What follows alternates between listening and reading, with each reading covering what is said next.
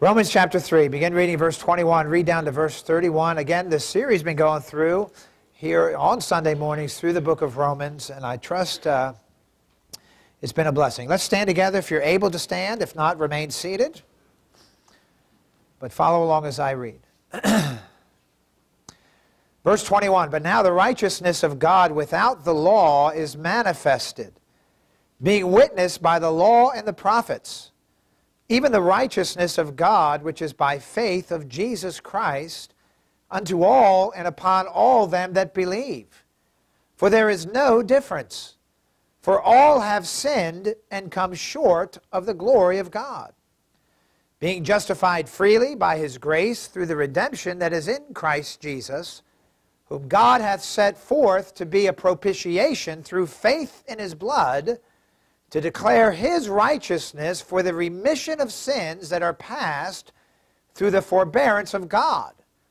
To declare, I say, at this time his righteousness, that he might be just and the justifier of him which believeth in Jesus. Where is boasting then? It is excluded. By what law? Works? Nay, but by the law of faith. Therefore we conclude that a man is justified by faith without the deeds of the law. Is he the God of the Jews only? Is he not also of the Gentiles? Yes the Gentiles also, seeing it is one God which shall justify the circumcision by faith and uncircumcision through faith. Do we then make void the law through faith? God forbid. Yea, we establish the law. Let's pray together. Father, thank you for your word. I pray today, this morning, as I'm preaching the message that I believe you've led me to preach, but you pre- please give me a fresh filling of thy spirit. Lord, enable me to preach your word. I pray that all of us listening today would recognize that what we're looking at here is not the words of men, but as it is in truth, the very words of God. And I pray, Lord, we treat it appropriately by responding to it, giving reverence to it, if you will. And Lord, I pray if there's someone here today that does not know Jesus Christ as their Savior, that this morning would be the morning that they'd get saved, the day of salvation for them. And for the believer, Lord, you'd help us revisit perhaps Calvary today to once again remember the great work that was done for us at that time. Please bless and enable me, I pray, in Jesus' name. Amen. Thank you. You may be seated. In 1927, the USS S-4 Navy submarine was surfacing. It was going through a submersion type mission, if you will, or a part where they were down for a while. It was now time for them to come up. This was Cape Cod off the coast of Massachusetts. As they were coming up, there was another ship coming along the way. Evidently, they had no idea that they were there. Communication somehow broke down. It was a Coast Guard destroyer and that Coast Guard destroyer rammed that submarine in the side, piercing its side, sinking it down to the bottom. Of course, rescue and salvage operations immediately were radioed, trying to get people out there. But uh, there was a problem. There was severe weather that caused much delay, and it couldn't get there as they wanted to. By the time they reached the submarine, got over it, sent divers down, there were only six people still living out of the 40 crew members that were there. And these six were trapped in the forward portion of the submarine, in the torpedo room. They were, evidently, they closed the rest of the submarine off, and they're huddled right there in the front of the submarine, sharing the little oxygen that was left. As the rescue divers approached the submarine, they were going around the submarine. They approached that place where the men were trapped, they began to hear a noise coming from within. That noise was tapping on the side. And it seemed to be tapping some sort of code, and they realized wait a minute here, this is Morse code. And so they listened. And they listened over and over as those trapped in the submarine Morse coded out a very simple four word question. The question was this is there any hope? Is there any hope? Is there any hope? Is there any hope? You know, that's exactly the question that we find ourselves asking at the opening chapters of the book of Romans for mankind. Is there any hope for mankind? Is there any hope to save our souls? You know, for nearly three chapters, the Apostle Paul has been dealing with the subject of the gospel. we understand that the gospel is defined for us in 1 Corinthians chapter 15 as the death, burial, and resurrection of Jesus Christ. But understand, the Apostle Paul did not begin there. And the gospel really does not begin there at all. If you look back with me at chapter 1 and verse 18, because we're going to see where the gospel begins. we read in verse 18 For the wrath of God is revealed from heaven against all ungodliness and unrighteousness of men. Notice who hold the truth in unrighteousness. That's where the gospel begins. It begins with the conviction of sin. You know, we're dealing with people about their soul and the Lord Jesus Christ. Understand it is absolutely essential that we begin with sin. We begin with the conviction of sin.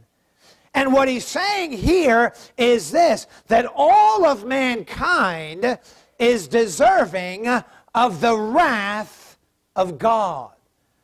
That's a pretty bold statement. He makes it here in verse 18, and for the rest of chapter 1 and the rest of chapter 2 and part of chapter 3, he begins to explain that. And he tells us that, that uh, for the next two chapters, uh, he proves that not only those that are engaged in what we would consider obvious sinful behavior, things like the thieves of this world, or the murderers of this world, or the child abusers of this world, those that are defiant of law and order, all of us would nod our head and say, yes, they are no doubt under the wrath of God. God's not happy with them. He doesn't stop there. He goes on to what we would call the moral person there in chapter 2. He describes here that person that we would look at as the good neighbor, the guy that's a nice guy, the one we like. He's that upright citizen, the one who works hard and pays his bills and sends his kids to college and volunteers in community organizations and helps people. And everyone looks at him and says, Boy, that's a nice guy. Paul declares for all of us to understand that even that moral person is under the wrath of God as well because of his sin. But he doesn't stop there. He talks about the religious man. That man that holds his Bible under his arm. That man that talks about God, that doesn't deny God, but yes, believes in God. He says, I believe in God. He's religious and uh, he has his religion. He may even attend church.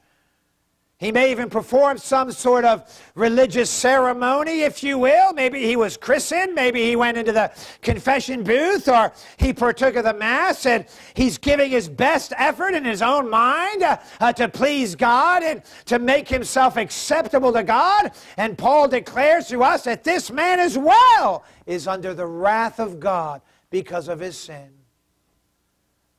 And he concludes for us in chapter 3 Notice in verse 19 and 20, now we know that what things soever the law saith, it saith to them who are under the law. Notice that every mouth may be stopped, and all the world may become guilty before God. Therefore, by the deeds of the law, there shall no flesh be justified in his sight. Notice he says in verse 19 that, that every mouth is going to be stopped, and all of us, all the world, uh, will be guilty before God.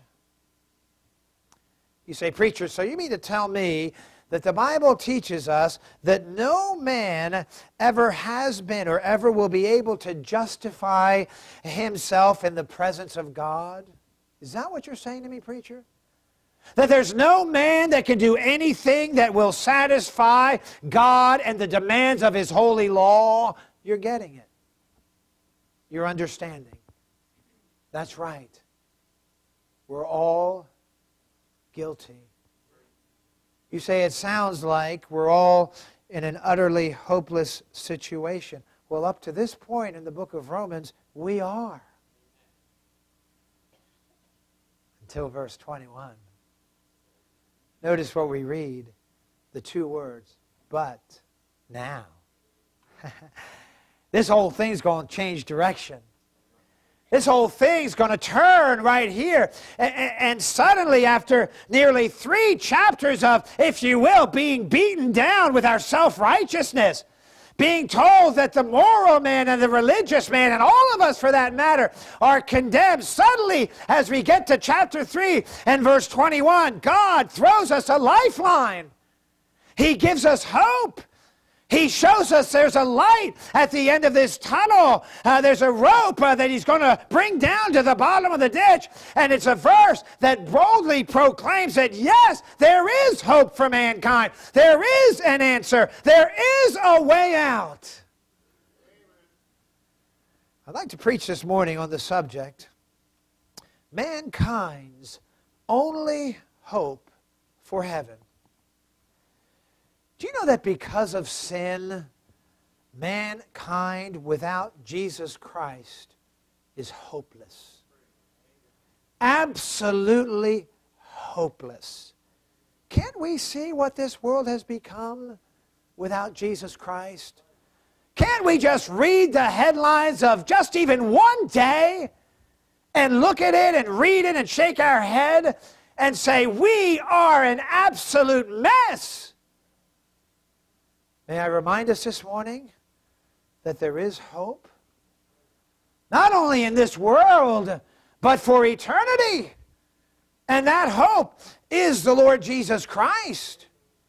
I want us to take a moment as Paul shines this light in this dark place in this chapter and see how he describes for me and for you mankind's only hope for heaven through Jesus Christ. Notice, first of all, number one, the way disclosed. There's a way. You say, what is that way? Look at verse 21 through 23. But now, in the, now the righteousness of God without the law is manifested, being witnessed by the law and the prophets, even the righteousness of God, which is by faith of Jesus Christ, unto all and upon all them that believe. For there is no difference, for all have sinned and come short of the glory of God. Do you know what's required to get to heaven? The righteousness of God would someone here this morning like to raise your hand and stand up? I'll even give you the microphone for a few moments. And tell us how you are as righteous as God in your own self. Tell us, while we all snicker and laugh at you trying to do so. Because that's what's required. And all of us fall short. But how do we get this righteousness of God? You see, God has provided a way for you and for me to obtain the righteousness of God. Not to attain, but to obtain it. There's a way. There's a way that you and I can have all of our sins forgiven. That we can be declared by God to be righteous, to be cleansed, to be worthy of heaven. But understand that this righteousness becomes ours not as a result of our own actions or of our conformity to any kind of law or ceremony or rules and regulations. We obtain the righteousness of God solely and entirely through faith in the finished work of the Lord Jesus Christ on the cross of Calvary. It's the only way. It's the only way. That's what he says. Look at verse 21 again. But now the righteousness of God without the law is manifested but notice he goes on to say, being witnessed by the law and the prophets. You know what he's saying here? This isn't something new. This isn't some New Testament thing that no one ever knew about. This is the same way that was told way back in the Old Testament. It was prophesied by the Old Testament prophets. It was pictured in the Old Testament stories. Salvation has always been the same since Genesis chapter 3. Right after man sinned uh, and sin entered into this world in Genesis chapter 3, if you remember what Adam and Eve did, they attempted to, by their own efforts to clothe themselves with fig leaves. I believe that's the first place we find religion in the Bible trying to cloak themselves, if you would, attempting to get God's satisfaction in their own selves. And what did God do? Well, we read in Genesis chapter 2 and verse 21 Unto Adam also and to his wife did the Lord God make coats of skins and clothe them. May I ask you, where did he get those coats of skins? There's only one place. An animal had to be slain. God slayed an innocent animal shed the blood of an innocent animal, if you will. And he took the skins of those animals and he clothed Adam and Eve with the, the, with the righteousness there, if you will. It's a picture of the Lord Jesus Christ. And he's teaching to all of mankind, not only to Adam and Eve, but to me and you as well, a principle. And the principle is this substitutionary atonement. In other words, the innocent for the guilty, the just for the unjust.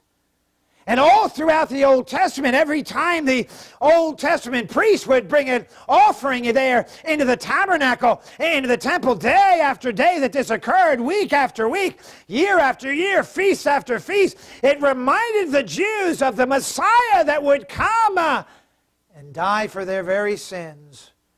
Those animals were all a picture of the Messiah, of the Lord Jesus Christ. Hebrews tells us it's not through the blood of bulls and goats that a person gets God's righteousness. It's only through the blood of Jesus Christ. It's through Him. That is the way. Isaiah chapter 53 and verse 6 no doubt a familiar verse. All we like sheep have gone astray. We have turned every one to his own way. Watch this. And the Lord hath laid on him, that's speaking of the Lord Jesus Christ, the iniquity of us all. See, I couldn't pay for your sins and you couldn't pay for my sins. Why? Because we're sinners ourselves. We're guilty. It had to be someone without sin. Who's without sin? Only God is without sin. So God left the glories of heaven and came to this earth in the person of the Lord Jesus Christ to go to the cross of Calvary to shed his blood for our sin. According to Acts chapter 20 and verse 28, on Calvary, the blood of God was shed for us. Why? The innocent for the guilty, the just for the unjust. It is the way that God has provided. But notice in Romans chapter 3, there's two things I think we notice about obtaining this righteousness of God. Notice, first of all, number one, its narrowness.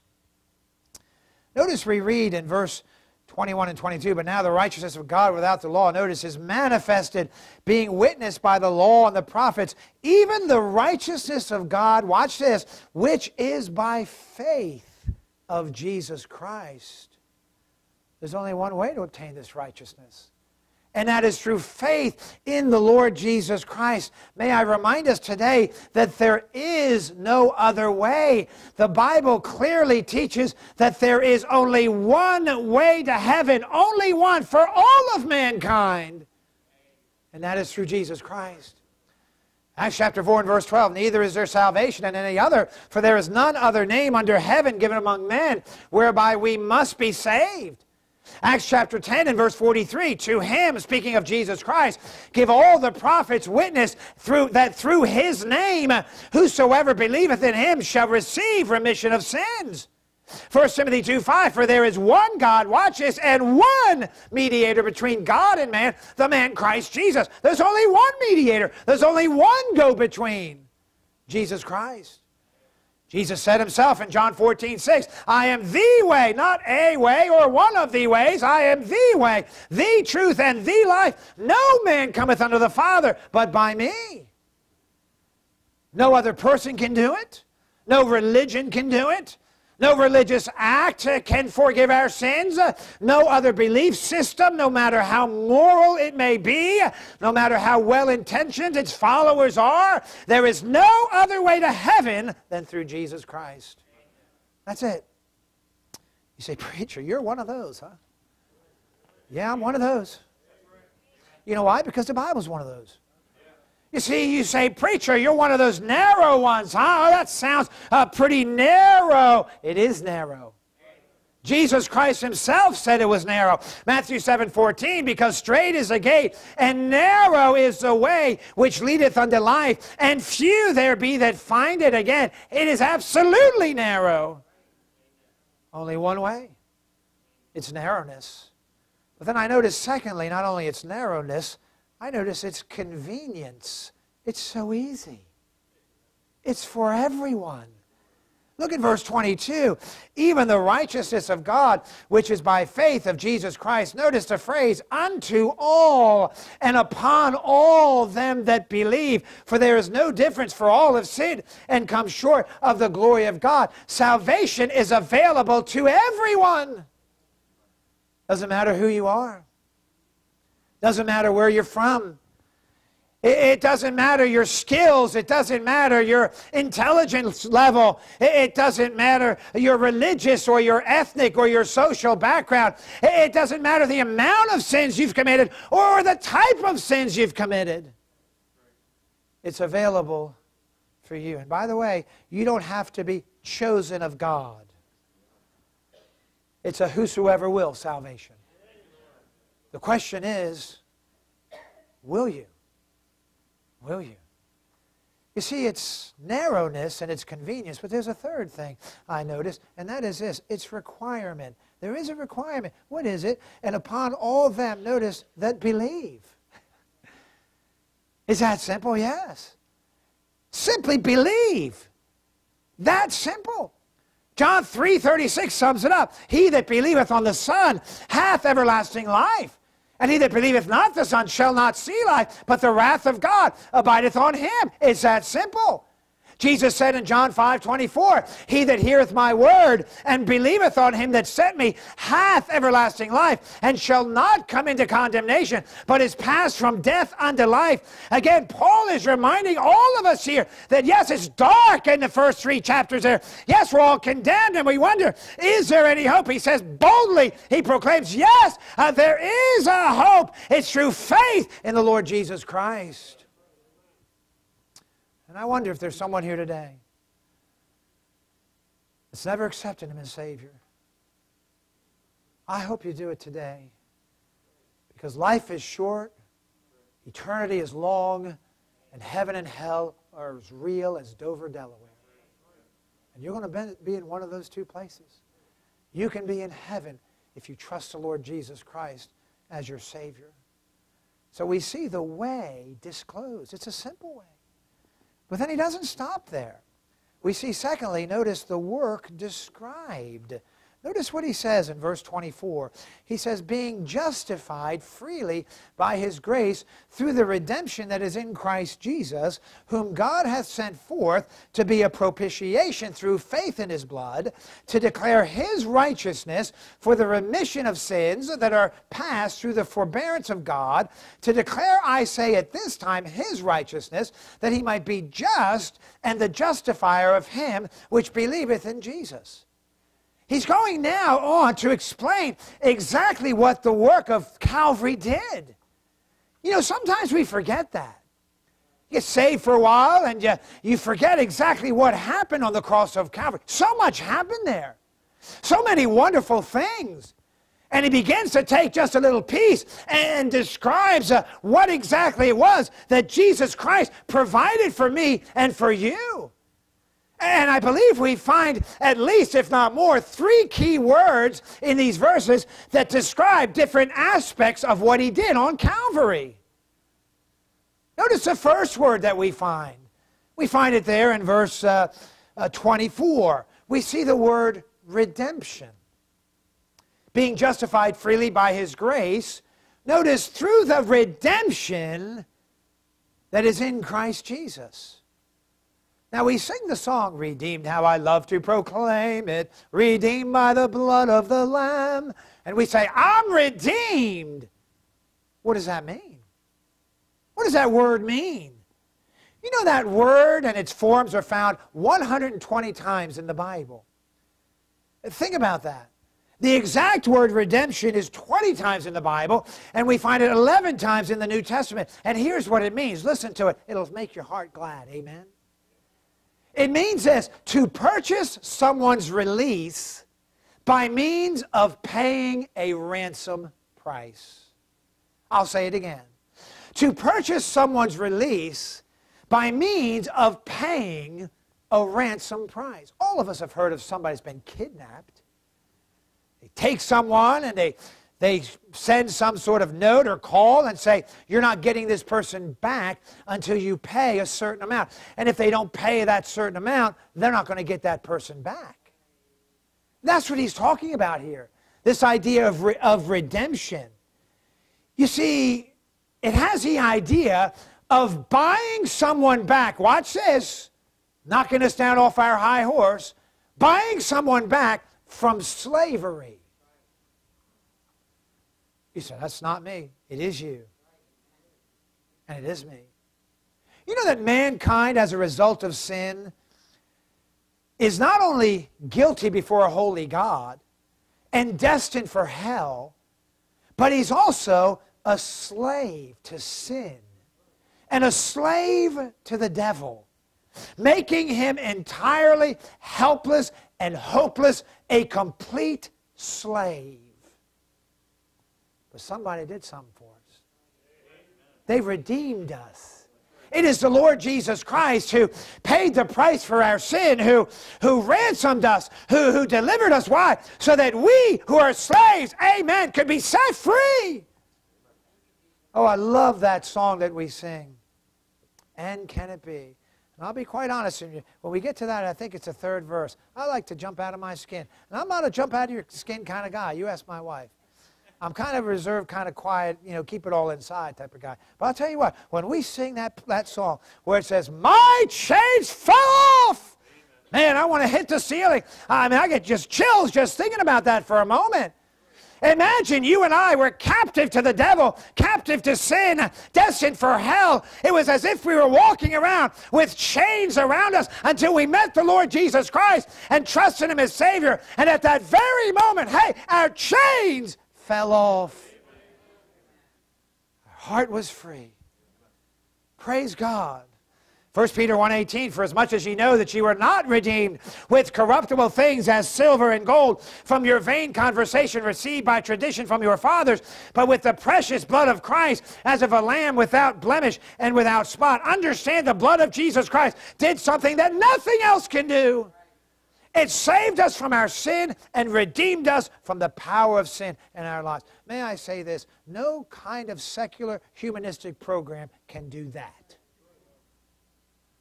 No Alcoholics Anonymous or Drugs Anonymous. None of that can do it. Only the blood of Jesus Christ can do that. So we see a first word is a work uh, said to be redemption. But then there's another word we find in verse 25. Notice the second thing he describes this work in verse 25 whom God hath set forth to be a propitiation through faith in his blood. Now that's a $5 word right there. I, in the early service, I must have messed that word up 10 times when I was trying to say propitiation. You can go home today after I tell you what it means and, and look smart to your friends and neighbors. Tell them, we learned about propitiation today in church. What did you learn about? Amen? What does it mean? You know that word occurs three times in the New Testament. Right here in Romans 3, and also in 1 John chapter 2 and 1 John chapter 4 as well. Uh, as well. It is the same word. Here's the interesting thing. It's the same word that is translated in Hebrews chapter 9 and verse 5 as the mercy seat. Now notice it's saying here that God hath set forth to be a propitiation through faith in his blood. What is this mercy seat? Well, if you're familiar with the Old Testament, you should know what that is. The mercy seat was a part of the tabernacle and the temple. Think about it for a moment. Now, the tabernacle in the Old Testament was about the size of this room. It wasn't really that big, maybe a little bit bigger. And it had not only the outer court, but it had an inner court. It had a, another kind of like a box, a rectangle, if you will, inside the room with two sections. And the, the center room, the Holy of Holies, was actually square. Once a year on the Day of Atonement, now they did sacrifices throughout, every day they did different things, but once a year something happened called the Day of Atonement. And the high priest would once a year come in to make a, a sacrifice for the sins of everybody, the whole nation of Israel. What he would do, he would walk through, imagine maybe through that back door. Uh, he would walk into the congregation there, and it was, of course, a little bit different, but the first thing he'd find is the brazen altar. He would uh, sacrifice a lamb. He'd go find a lamb without blemish, a perfect lamb. He'd take that lamb and he'd sacrifice it on the brazen altar. The blood of that lamb would spill down into this catching place at the bottom of the brazen altar. He was commanded to gather up that blood once a year to walk past the laver, the laver that was there and into that next room called the holy place.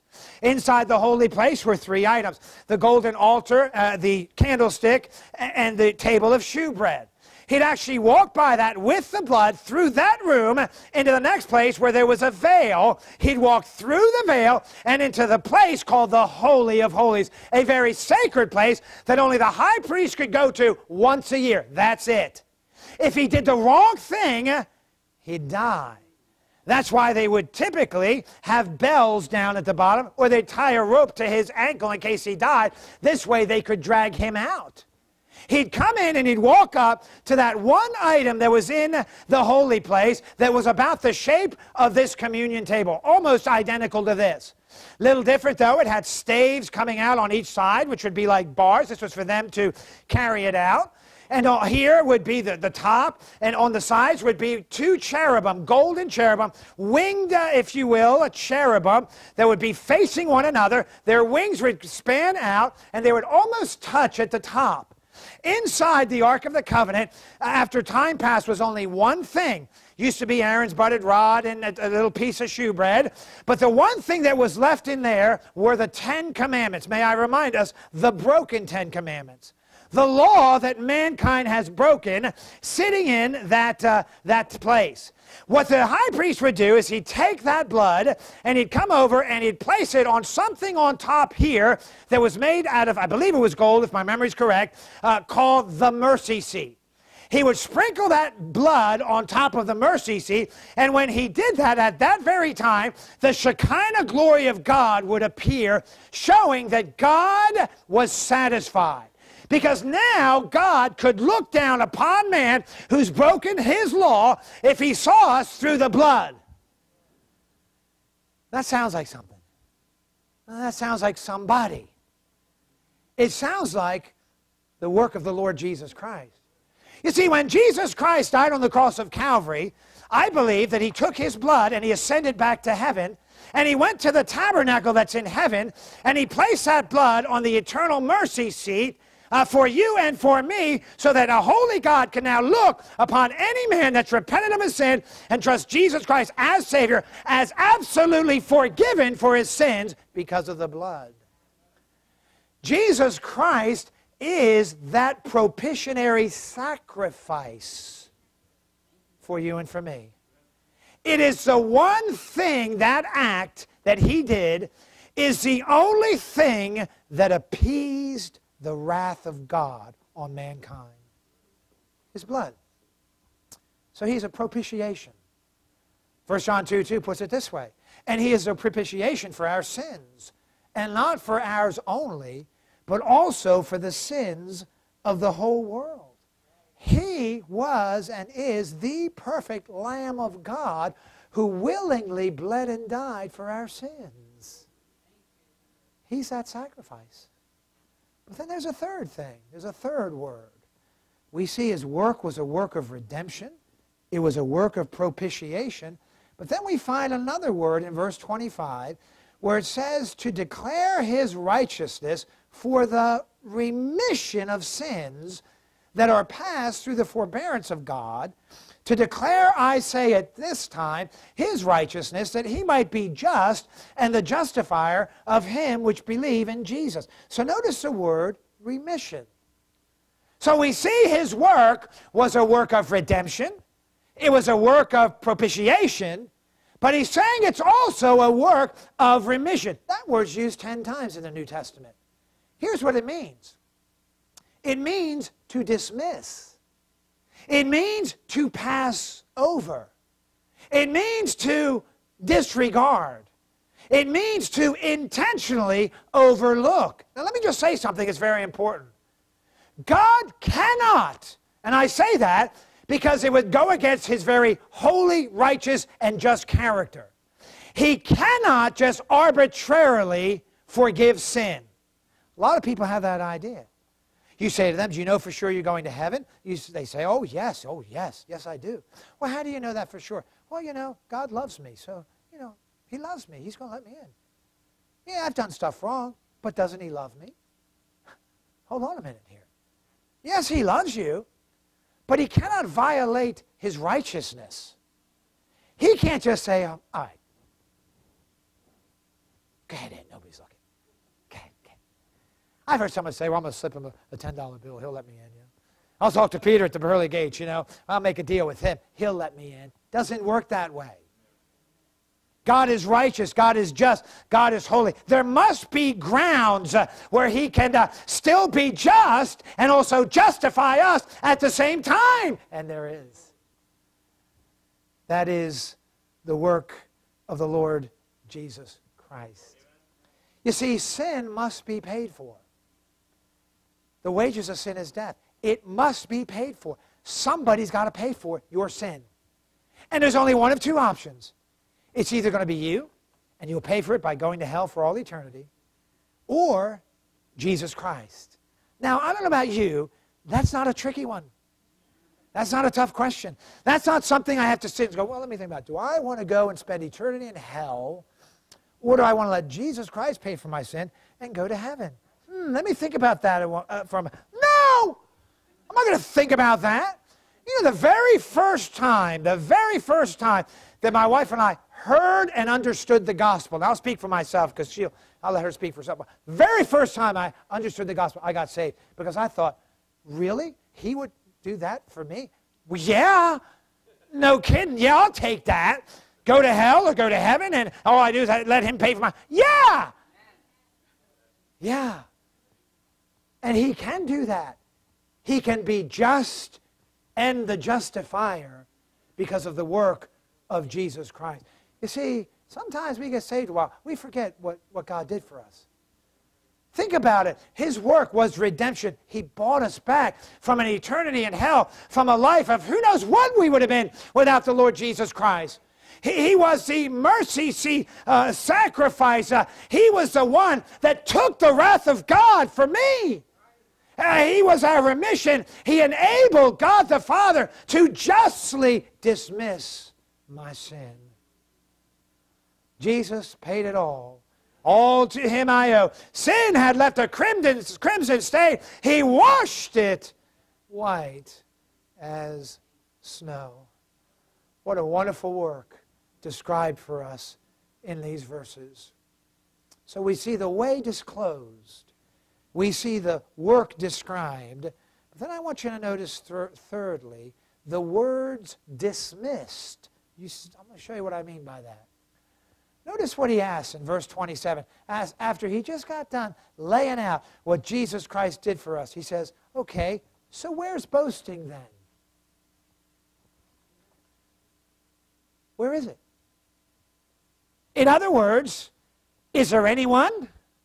Anyone at all? That could stand up and pat themselves on the back and say, Yeah, I, I made it to heaven. No. Is there anyone that could stand up and say, Well, God got a really good deal when He got me? No. He gets the short end of the stick every time. Think about that. Is there anyone that can, that can boast and say, I deserve, I deserve heaven?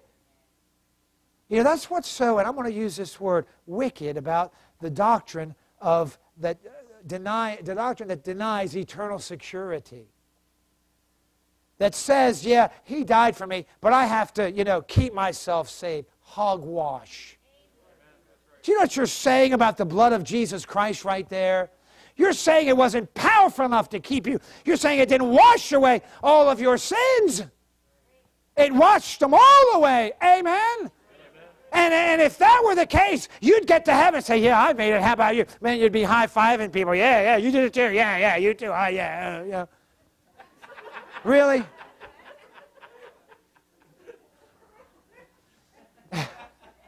I don't know where those things come from.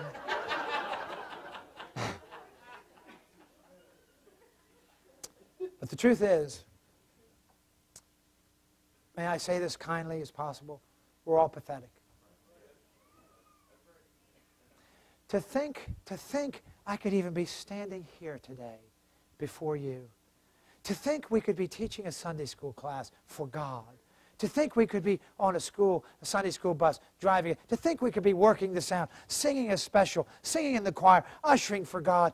I'm just, man, I, like David, I, I'd be a doorkeeper in the house of God, and that would be a privilege.